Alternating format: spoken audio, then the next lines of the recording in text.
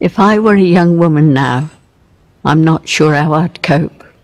With all the things that you have, the opportunities, the technology, I'd like to think it could be a world of pleasure. But I fear instead it would only be a world of pressure. Pressure to be the perfect mother, the perfect wife, the perfect friend. Pressure to be successful, a boss, a leader.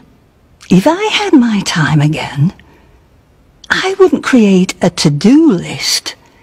I'd create a to-don't-do list. I'd give myself the time to indulge in the things that I now understand are the most important. What I wouldn't give.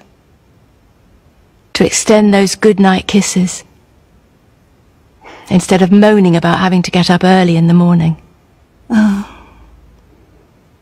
What I wouldn't give for an extra second of cuddling my babies before they became too big to hold.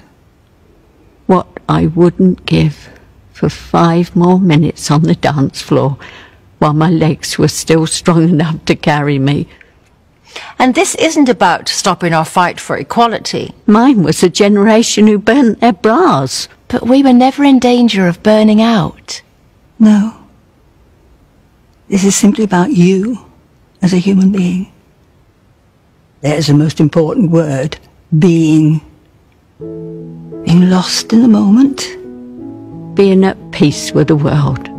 Being kinder to myself. Being kinder to others. Being able to let go and being proud to do so. Believe me, if I were a young woman now, I'd spend more time being. Not doing. うん